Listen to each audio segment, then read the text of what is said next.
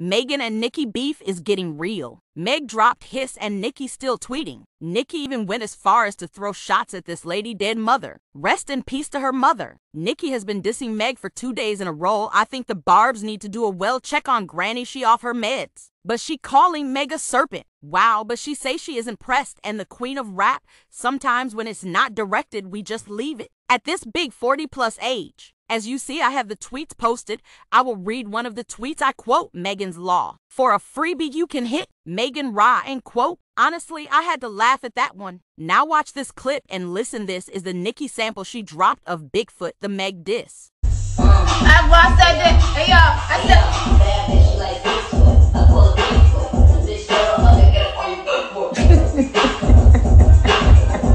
she was really bothered, but y'all not ready for that conversation. Nikki is the problem. She's beefing with everybody. Seems like she's trying to recruit Cashmere from South Central baddies because she's in Texas. But those are my opinions. Watch this next clip. She is being a hater. For real. For real. have three Grammys and you have to learn how to rap on the beat and being comfortable in the music.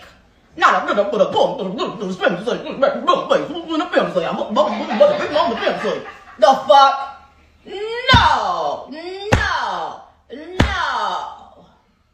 So then Nicki posted she has the messages? What messages? From who? Do you think it's from Megan friend Kels or Tori? I'm sure those messages will be leaked sooner than later. Thanks for watching. Make sure you like and subscribe.